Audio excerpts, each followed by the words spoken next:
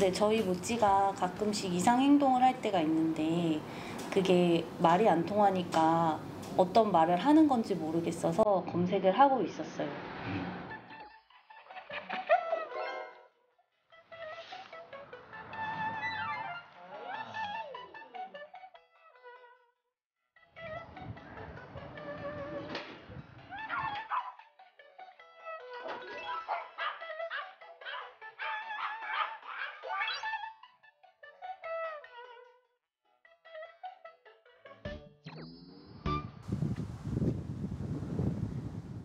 오백 와 올라가. 앉아. 살짝 앉아. 살짝 시자 돌아 이제 들어. 기다려. 뛰어.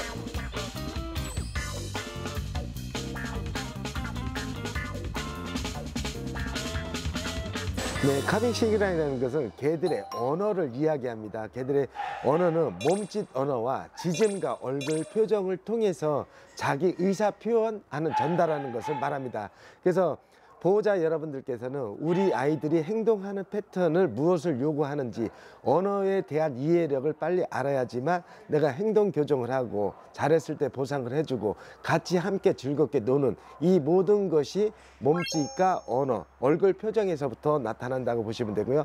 특히 지짐에서 나타나는 카미 시그라는 그 개의 유의 즐김과 행복함, 즐거움, 불안, 공포, 공격성 모든 것을 나타내는 것이 얼굴 지짐에서부터 시작이 되기 때문에 이 카밍 시그널에 대해서 초보자인 반려자 분이라고 하면 반드시 공부를 해주시기 바랍니다.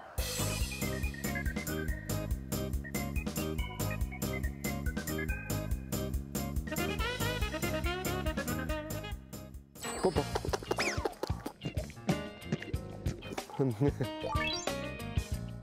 자, 여러분들 가끔 가다가 보호자 입술을 할 거나 동족에게 입을 핥는 경우 많이들 보시죠. 이 카밍 시그러는 서로의 존경심, 애착, 서로 존중합니다, 사랑합니다를 의미합니다. 또 여기서 혹시 행동학적으로 너무 문제가 되는 것은 살짝 뽀뽀하는 것은 괜찮지만 굉장히 집착을 많이 보이고 사람 입술을 오랫동안 빠는 경우도 굉장히 많거든요. 살짝 한두 번만 존경심 표현으로 사랑한다는 표정으로 대화를 해주시고 너무 과격하고 과도한 뽀뽀는 안 됩니다.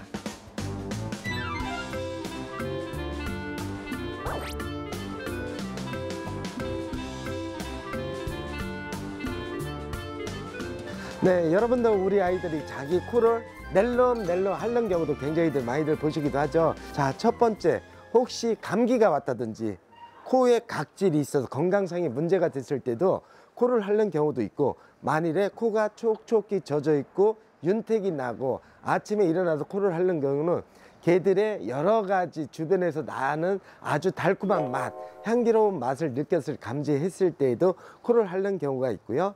그 다음에 또한 냄새 정보 수집을 하기 위해서 코, 코를 핥아서 그 냄새에 대한 정보 수집도 하기도 합니다.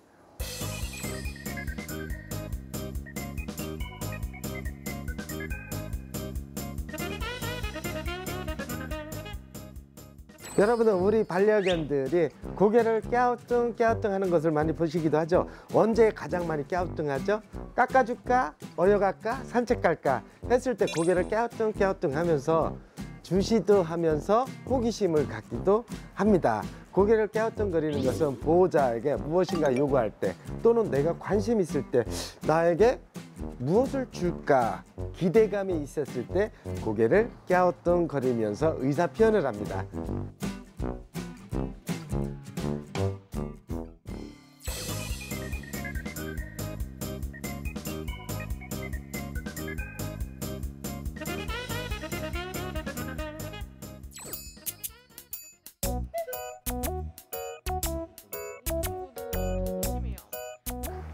우리 아가들이 하품하는 모습을 보셨죠? 하품하는 때 언제 하품을 할까? 예를 들어서 보호자에게 또는 다른 동족과 싸움을 하거나 흥분을 하고 난 다음에 자기 호흡을 하품을 함- 함으로써 자기 심리적 상태를 다운시켜주는 작용을 하기도 합니다. 또한 하품을 할 때에는 또 잠자고 일어났을 때 기지개를 펴면서 또 하품을 하기도 하고요. 이 하품한다라는 것은 심리적으로 굉장히 편안한 상태라고 보시고 스스로가 감정을 억제한다는 것을 시그널을 이해하시면 됩니다.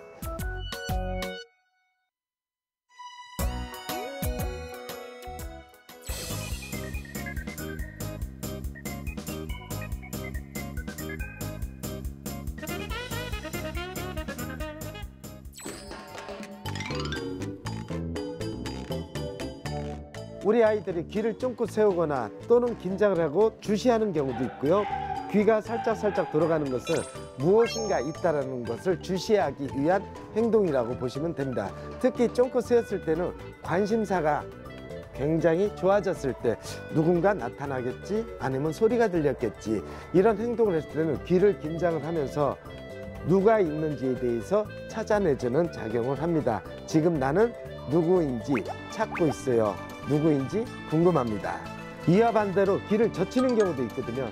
이럴 때는 기분이 좋아요. 아니면 좋아하는 사람이 있었을 때 좋은 감정의 의사 표현으로 받아들여도 됩니다.